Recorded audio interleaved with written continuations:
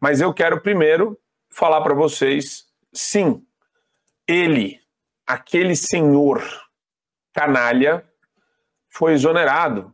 Sabe da onde, pessoal? Eu vou falar para vocês, vou ler o print dele, vou ler o nome dele de novo. Esse cara trabalhava com deficiência, olha só, na secretaria, na comissão de direitos dos direitos das pessoas com deficiência. Deputado federal Márcio Jerry, do PCdoB do Maranhão, presidente dessa comissão, exonerou o assessor Said Marcos Tenório, sobre o qual nós falamos ontem, por ironizar uma mulher sequestrada e publicar comentários antissemita nas redes sociais. Esse cara ganhava mais de 20 mil reais por mês e ele também é vice-presidente do Instituto Brasil-Palestina. A gente separou aqui os posts dele nas redes sociais quando a mulher sequestrada estava com as calças ensanguentadas, cortada, ela tinha sido provavelmente estuprada e estava algemada e sendo empurrada por provavelmente os algozes dela, que mataram-a depois. Vamos colocar aqui os posts desse delinquente. Olha aí. Isso é ele, à direita, com o ministro Alexandre Padilha ao meio ali, ó, recebendo do Instituto Brasil Palestina é, esse, esse livro, né? um livro da autoria dele, inclusive. Ah, a gente tem mais posts do Said Tenório, vamos lá. É a bandeira de Israel com uma barata no meio, ao invés da estrela. A gente tem, uh, então, pelo menos alguma. É difícil chamar de decência, né? Mas o. Marco Antônio, a publicação dele no Twitter ele fala que a moça defecou nas calças e ele compara a moça às próprias fezes. É assim, é de uma objeção que eu nunca vi na história da República. Sim, é um negócio grotesco, porque é uma pessoa que provavelmente foi assassinada. E o deputado, tá, deputado federal do PCdoB falou o seguinte, abre aspas, em face de comentário em rede social feito por Said Marcos Tenório, em postagem referente à foto de mulher agredida por integrantes do Hamas, manifesto minha total reprovação e veemente repúdio Comunico ainda, por considerar extremamente grave a manifestação, determinei a imediata demissão dele do quadro de minha assessoria da Câmara dos Deputados. É, e aí, essa é a questão que a gente tem debatido aqui algumas vezes, Cogos, sobre como essas pessoas elas devem ser, sim, demitidas, exoneradas, não só quem apoia o Hamas, mas as pessoas que tentam trivializar a questão, que tentam colocar a questão como se não fosse relevante. E só para fazer uma rodada aqui, a primeira rodada, eu quero colocar o vídeo dessa esquerdalha ontem se manifestando em apoio ao Hamas e as bandeiras que estavam lá.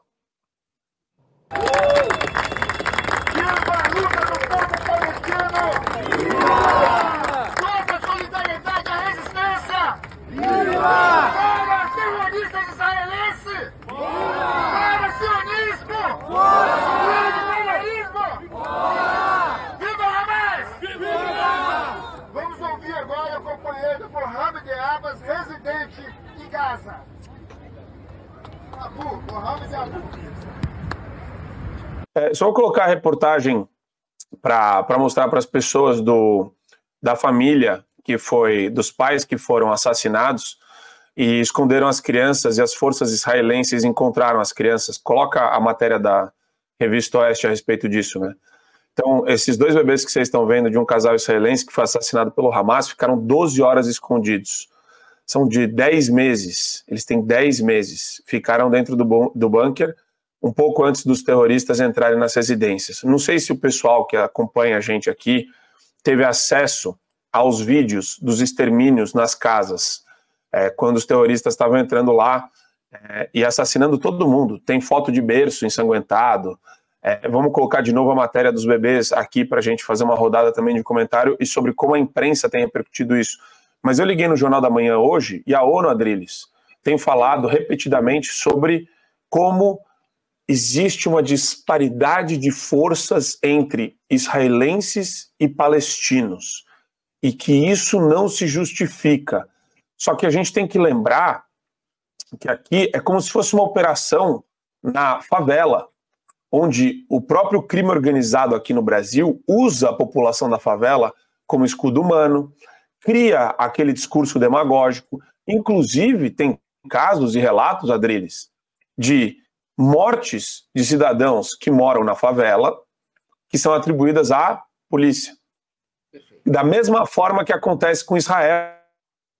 Nove é, emissários de paz lá de, da ONU, é, que estavam trabalhando com os refugiados palestinos, foram mortos. A pergunta que fica é: foram mortos por quem? Porque a ONU ela não espera dois minutos para falar pelas forças israelenses, mas a gente sabe muito bem o modus operandi de um grupo terrorista. É só você parar para pensar como um terrorista. Que mensagem eu passo para a comunidade internacional se eu mato o pessoal da ONU que está lá na faixa de Gaza, porque eles vão atribuir isso imediatamente aos bombardeios de Israel.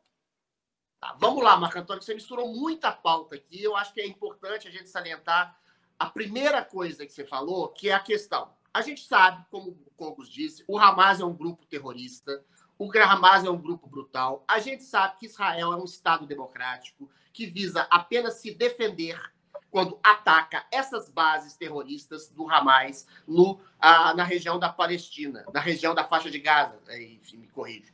Ou seja, existem incidentalmente civis mortos numa guerra, isso é completamente distinto de você estabelecer uma invasão bárbara, cruel, assassina, em que você degola bebês, estupra mulheres, tortura pessoas, mata familiares na frente de seus familiares, incendeia casas inteiras, famílias inteiras. Ou seja, você promove aquilo que o terrorista promove, que é o terror.